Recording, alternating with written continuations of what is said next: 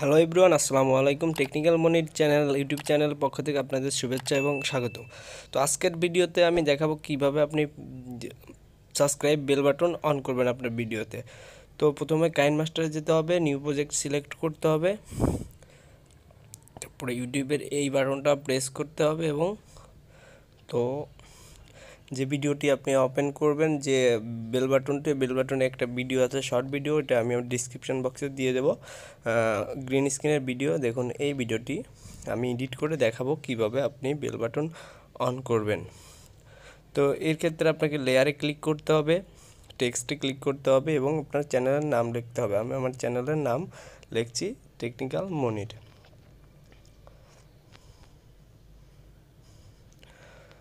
তো আপনি আপনার চ্যানেলের নাম লিখবেন, আমি আমার চ্যানেলের নাম লিখে রাখতেছি নাম নাম লিখে টেকনিক্যাল মনির। লেখার পর ওকে বাটনে প্রেস করবেন। দেখুন এইভাবে নাম চলে আসছে, নামটা কালার কালারে ক্লিক করে কালারটা সিলেক্ট করবেন। যে কালার আপনার ভালো লাগে, আমি আমার ইচ্ছা মতো একটা কালার নিয়ে নিচ্ছি, আপনারা আপনাদের ইচ্ছা মতো কালার নেবেন। লেখাটাকে সুন্দর করার জন্য শোডাউনে ক্লিক করে এইটা একটু বাড়াই দেবেন বাড়াই কমায় নেবেন, যতটুকু ভালো হয়, স্পষ্ট বোঝা যায়, ততটুকু নেবেন। তো আমি আমার ইচ্ছা মতো নিয়ে নিচ্ছি আপনারাও আপনাদের ইচ্ছা মতো নিয়ে নেবেন। সম্পূর্ণ ভিডিওটি দেখলে আপনি খুব সহজেই আপনি কিন্তু প্লে মানে বেল বাটনটি লাগাইতে পারবেন। তো আমি লেখাটা একটু গাঢ় করে নিচ্ছি। তো গাঢ় করার পরে দেখুন এই যে টেকনিক্যাল মনে রাইছে এখন লেখাটা সেট করতে হবে। লেখাটা ঠিক মাঝামাঝি সেট করবেন, ছোট বড় করে সেট করে নেবেন। তো আমি আমি লেখাটা সেট করে নিচ্ছি। তো আপনারা আপনার ইচ্ছা মতো সেট করে নেবেন। তো সেট করার পরে দেখা যাচ্ছে আপনি, আপনার লেখা আছে কিন্তু বেল বাটন আসছে কিন্তু লেখা, লেখার মতো হচ্ছে না। মানে মিডিল পজিশনে যাচ্ছে না, একসঙ্গে হচ্ছে না। সেক্ষেত্রে আপনার লেখা মানে ওই টেক্সটে ক্লিক করে আপনি অ্যানিমেশনে যাবেন অ্যানিমেশনে যা স্লাইড আপ করে দেবেন। স্লাইড আপ করলে লেখার সঙ্গে সঙ্গে প্লে বাটনও আসবে। দেখুন প্লে বাটনও আসছে কিন্তু। তো এটা বড় করে দেবেন, যতটুকু ভিডিও ততটুকু করে দিবেন। তো আমি করে দিলাম। দেখুন প্লে করতেছি। লেখার সঙ্গে সঙ্গে কিন্তু আসতেছে।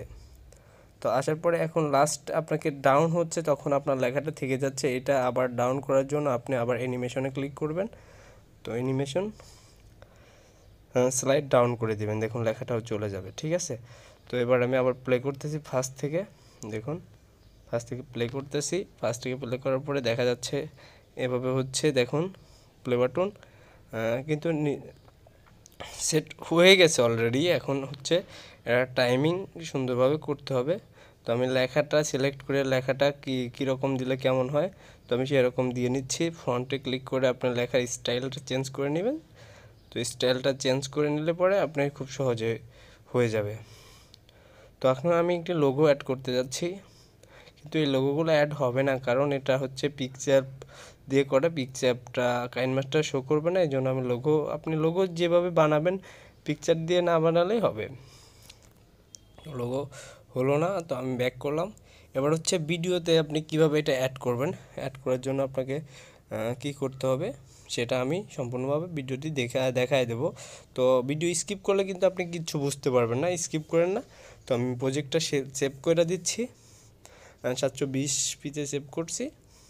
তো সেভ হচ্ছে, ততক্ষণ সেভ হওয়ার পর প্রজেক্টটি সেভ হওয়ার পরে কী করতে হবে, দ্বিতীয়ত আমি আপনাকে আবার দেখাবো।